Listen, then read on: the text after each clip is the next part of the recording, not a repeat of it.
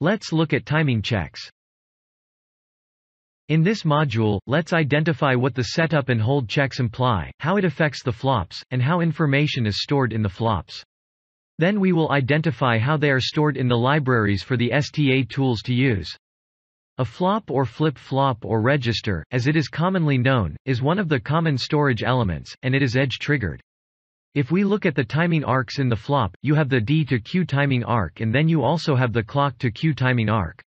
One thing to remember is that in an edge-triggered flop, the input data is propagated to the output only when the clock triggers the data to go from D to Q output. So, all the timing information that is calculated is from that clock edge.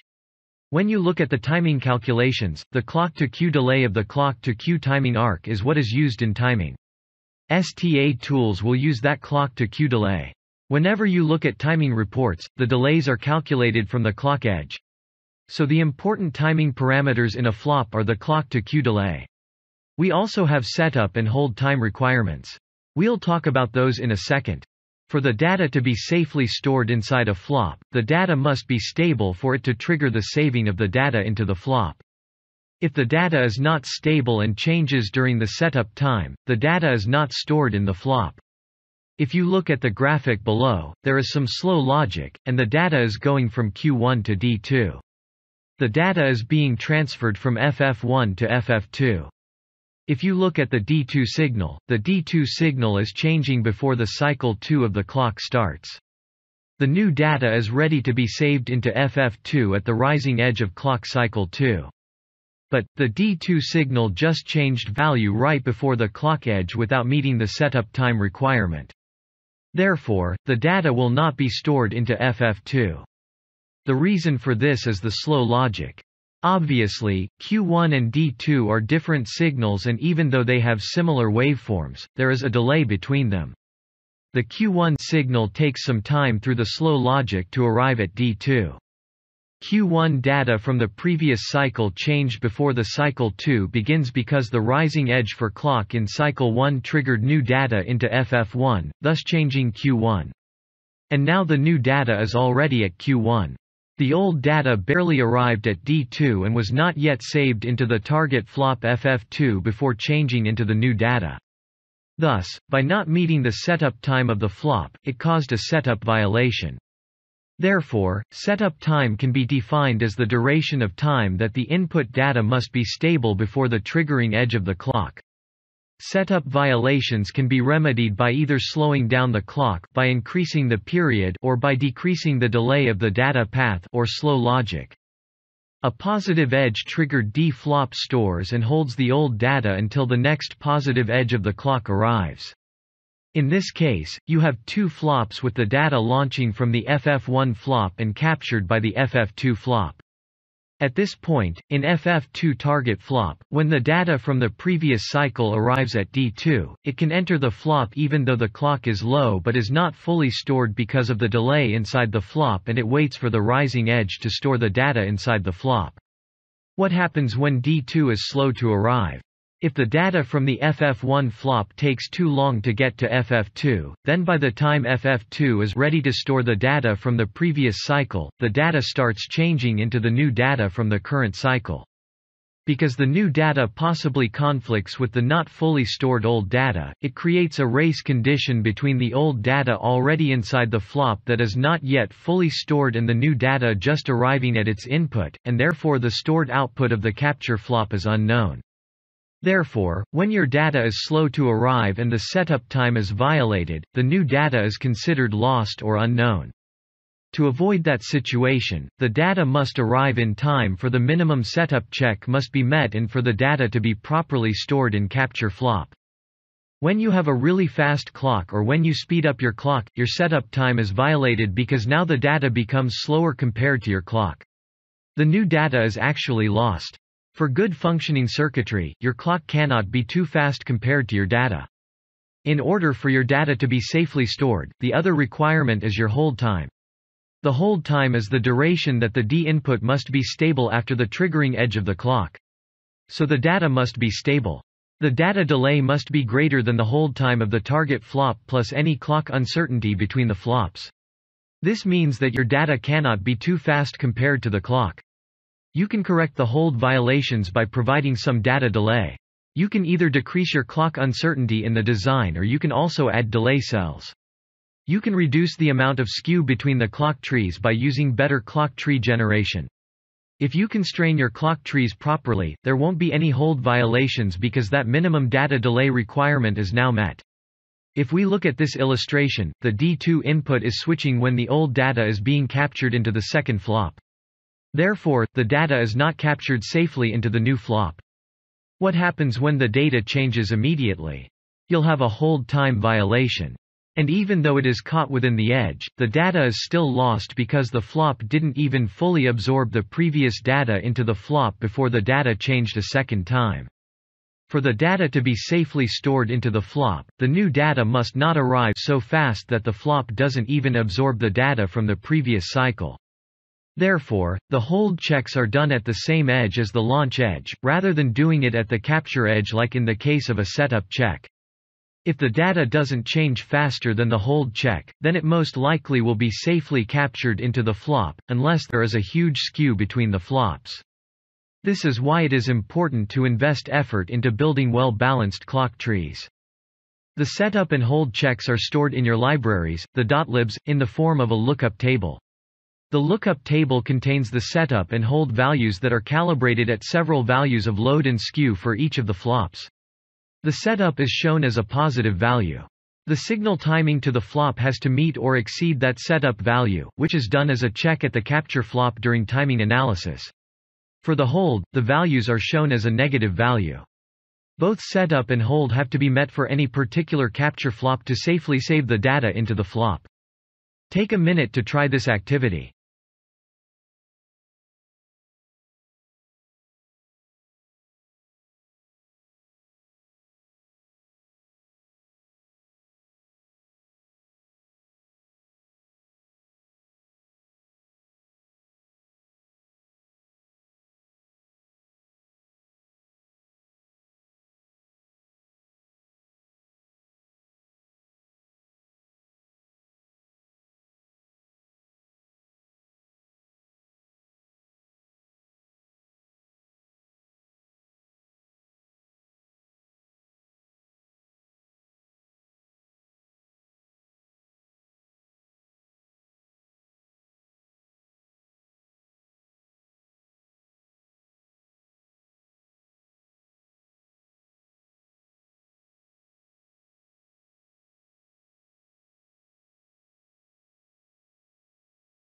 When you have multiple clocks in the design, look at the capture clock and the capture flop during your setup checks.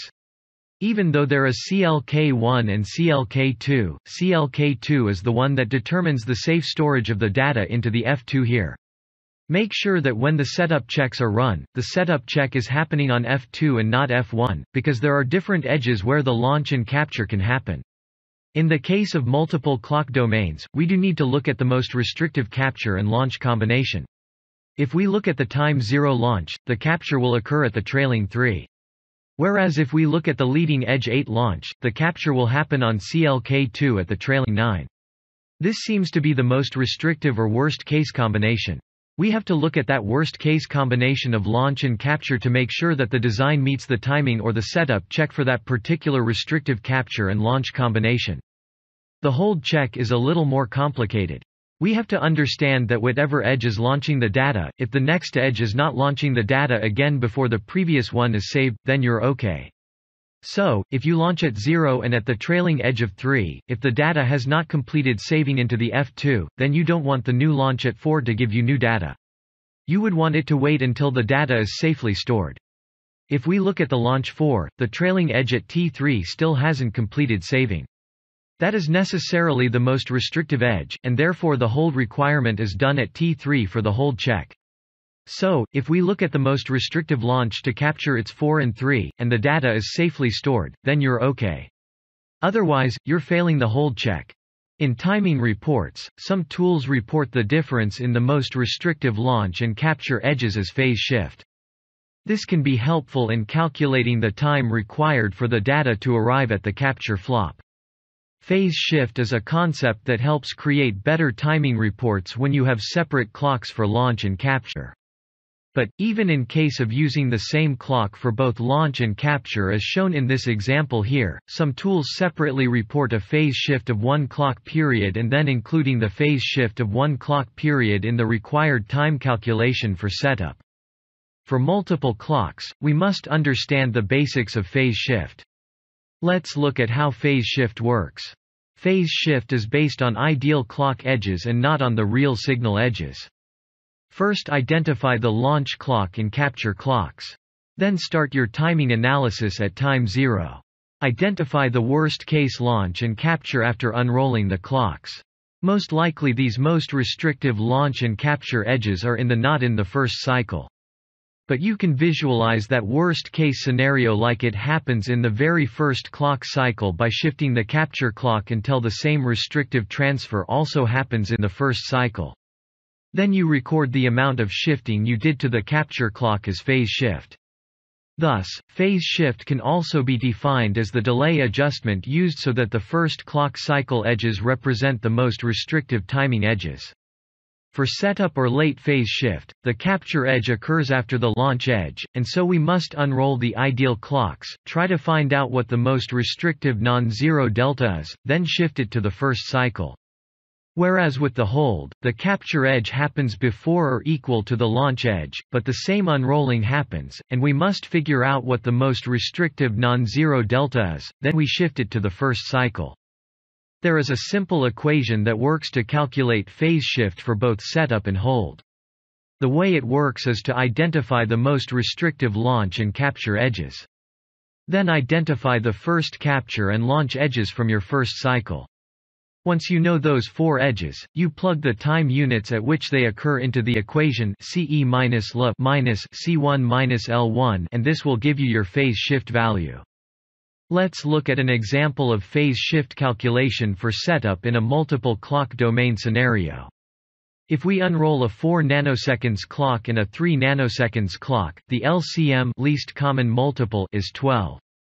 For a negative edge triggered flop, what we're doing instead of using the CLK2 as is, we are reversing the phase of CLK2. Notice that the leading edge of CLK2 is a falling edge.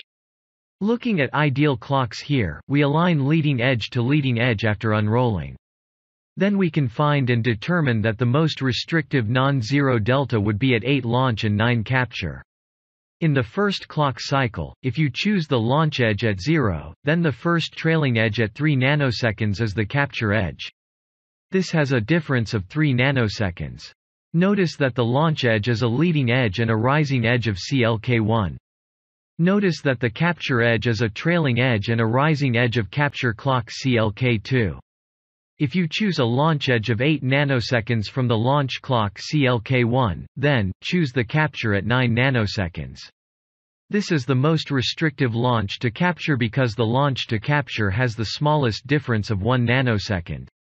If you want, go ahead and verify all other launch to capture scenarios to confirm this conclusion. Let's pretend that this same scenario is happening in the first clock cycle. To do this, move the capture clock waveform so that the most restrictive scenario happens in the first clock cycle. In this case, we can move the CLK2 waveform to the left by 2 units and we can see the most restrictive scenario is in the first clock cycle. These 2 units are considered phase shift because we are moving the waveform by 2 units. So, if you arrive at the phase shift via calculation, it is also the same value of minus 2. Therefore, this minus 2 nanoseconds is the value for phase shift for setup. In this multi-clock scenario example, we have the 4 nanoseconds and 3 nanoseconds clocks for the launch and capture. In this case, after unrolling the clocks, the most restrictive non-zero delta is shown at 4 nanoseconds launch and 3 nanoseconds capture. And for the first clock cycle, for a launch at 0, the capture is also at 3. Thus, the phase shift is calculated as minus 4 nanoseconds. And this value of minus 4 nanoseconds is used as a phase shift in the timing reports. Try this activity to improve your understanding of the topics discussed.